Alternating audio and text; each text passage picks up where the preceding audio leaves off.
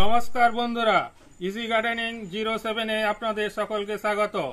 আশা করি আপনারা ভালো আছেন ও সুস্থ আছেন। আজ আমি বাড়িতে কীভাবে পালং শাকের চাষ করতে হয় সেটি আজ আপনাদের কাছে আমি শেয়ার করব।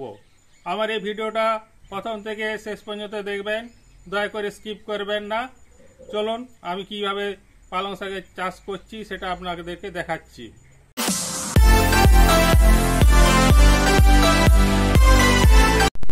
এই যে দেখুন বন্ধুরা, আমি একটি পাত্রে পালং শাকের বীজ নিয়েছি। এটি আমি কীভাবে লাগাবো সেটি দেখাবো আপনাদেরকে। এই বীজটি আমি গত বছর লাগিয়েছিলাম। এই বীজটা কিন্তু কেনা বীজ নয়, এটি আমি গত বছর সংগ্রহ করে রেখেছিলাম।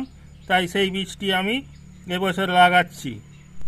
এই যে দেখুন বন্ধুরা, আমি যেখানে এই পালং শাকের বীজ লাগাবো, মাটিটা আমি আগের থেকে রেডি করে রেখেছি। ভালো করে কুপিয়ে একটু গোবর সার দিয়েছি। আপনারা যদি গোবর সার দিতে পারেন, ভালো। না যদি পারেন, বাড়িতে গোবর সার আমার ছিল বলে দিয়েছি। নাহলে দোকানে জৈব সার কিনতে পাওয়া যায়। জৈব সার দিলেও ভালো হয়। এরপরে আমি, এর উপরে আমি পালং শাকের বীজটা ছড়াচ্ছি। দেখুন।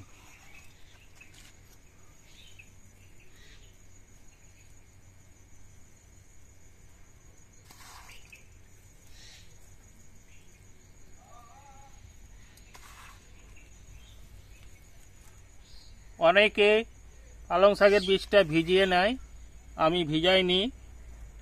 জলের পরিমাণটা বেশি দিলেই দু থেকে তিন দিনের মধ্যে গাছগুলি বেরিয়ে যাবে।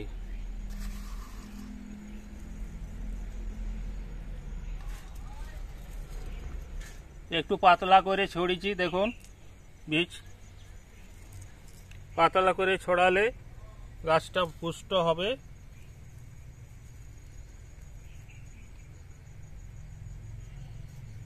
এরপরে আমি কদালে একটু একটু করে গুপিয়ে বীজগুলো যাতে মাটির নিচে ঢুকে যায়, সেগুলা করছি, দেখুন।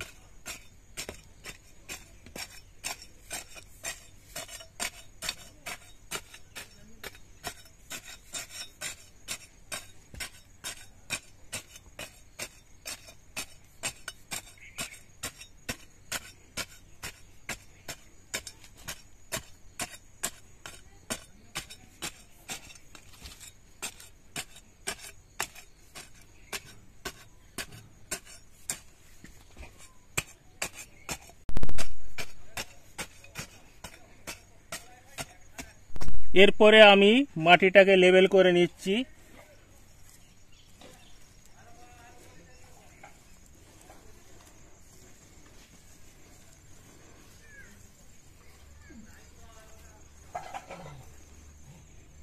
এরপরে এর উপরে আমি জল দেবো। দুবেলা জল দেবো, সকালে ও বিকালে। এই যে আমি জল দিচ্ছি।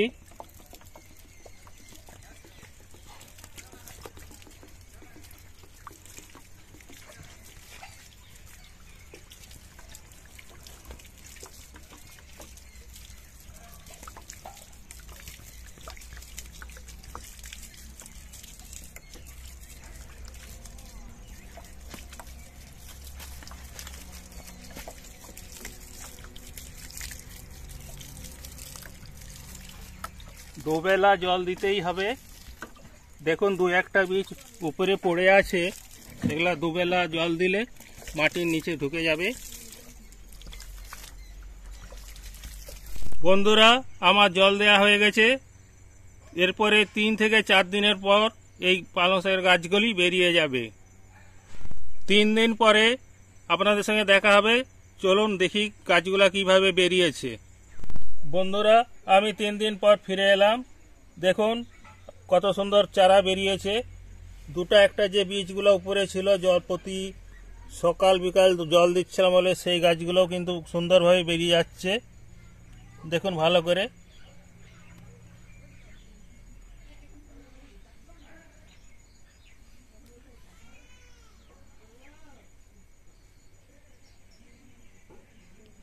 বন্ধুরা আপনারা দেখলেন কত সুন্দরভাবে পালং বীজগুলা গাছ হয়ে গেছে। বন্ধুরা, এরপরে আমি এই যে শাকগুলা বেরিয়েছে, সেগুলা সতেরো থেকে আঠারো দিন পর আপনাদেরকে দেখাবো এই শাকগুলা কত বড় হয়েছে, সেটা ভালো করে দেখাবো আপনাদেরকে। বন্ধুরা, সতেরো থেকে আঠারো দিন পরে ফিরে এলাম। দেখুন কত সুন্দর এই পালং শাকগুলা হয়েছে। কত সতেজ গাছগুলা পালং শাকের উপকারিতা আপনারা তো জানেন। দেখুন কত সুন্দর হয়েছে চারাগুলা।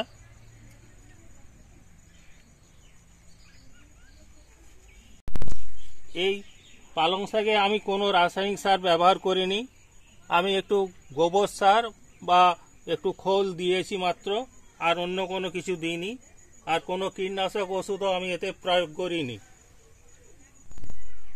এগুলা খেলে আমাদের কোনো শরীরে ক্ষতি হবে না। আপনারা এইভাবে চাষ করবেন। পদ্ধতিতে চাষ করবেন, তাহলে খুব সুন্দর এইরকম পালং শাক তৈরি হবে। বন্ধুরা, আপনারা দেখলেন আমি কত সুন্দর সহজ পদ্ধতিতে এই পালং শাকের চাষ করলাম। আপনারাও এই রকম পদ্ধতিতে চাষ করবেন। অতি সহজেই আপনারা এরকম চাষ তৈরি করতে পারবেন। এই পালং শাকে প্রচুর পরিমাণে আয়রন থাকে। পালং শাক সারা বছরই চাষ করা যায়। আপনারাও এরকম পদ্ধতিতেই চাষ করবেন, তাহলে দেখবেন খুব পালং শাক তৈরি হবে আপনাদের বাড়িতে। বন্ধুরা, আপনারা দেখলেন আমার এই পালং শাকগুলো কত সুন্দর ও সতেজ হয়েছে। আপনারাও কিন্তু বড় বড় গামলা, এরকম যে কোনো পাত্র যেগুলো ফেলে দেন, তাতেও আপনারা বাড়িতে এই পালং শাকটা লাগাতে পারবেন। খুব সুন্দর, সহজ পদ্ধতিতে এই পালং শাক তৈরি হবে। আমার এই ভিডিওটা যদি ভালো লাগে, আপনারা লাইক করবেন ও শেয়ার করবেন। আর যদি কোনো কিছু জানার থাকলে একটি কমেন্ট করবেন। আর আমার এই চ্যানেলটিকে সাবস্ক্রাইব করে আমার পাশে থাকবেন। আপনারা ভালো থাকুন ও সুস্থ থাকুন। এরপরে দেখা হবে আপনাদের সঙ্গে নতুন এক কোনো ভিডিওতে।